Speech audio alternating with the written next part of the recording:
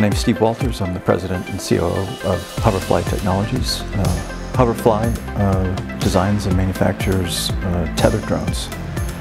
Uh, we've been around since 2010. Uh, initially, from about 2010 to 2015, uh, Hoverfly built flight control boards. And then around 2015, 2016, is about, I, I joined the company in 2016, is when we switched to kind of changed our business model to tethered drones. And uh, then we focused almost solely on tethered drones at that point. Tethered drones is a very unique space. It's a niche market.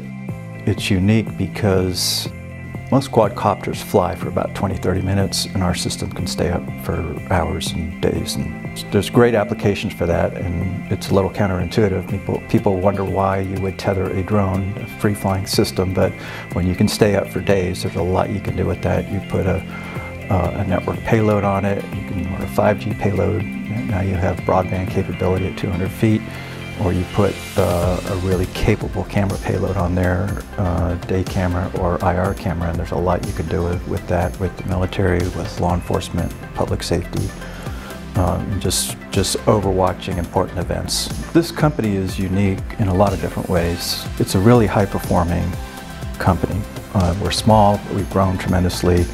When I got to the company in 2016, and I was, I think, employee number 10 or 11, we now have over 60 employees and we're growing, continue to grow at a rapid pace. Probably double in the next uh, year or two. So we have electrical engineers, mechanical engineers, and software engineers. We have very high level electronic techs. They're the folks who you know, do the R&D work, who build everything, work on, it, on these little tiny printed circuit boards and they're fantastic and we, are always going to need people like that. We fly every day. Um, we have to flight test our system. When it comes off the production line, we have to do production verification flights. I see the company continuing to grow, like I said, probably doubling in, in another one to two years. We're in the city of, of Sanford, and Sanford is a great place. Seminole uh, County is a great place.